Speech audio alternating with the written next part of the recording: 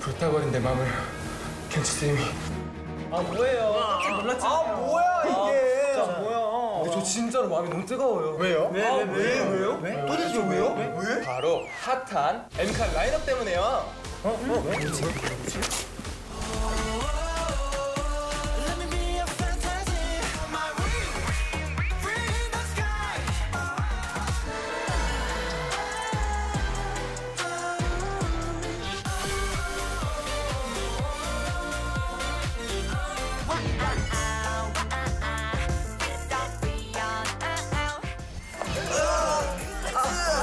심내 불타는 것 같아요.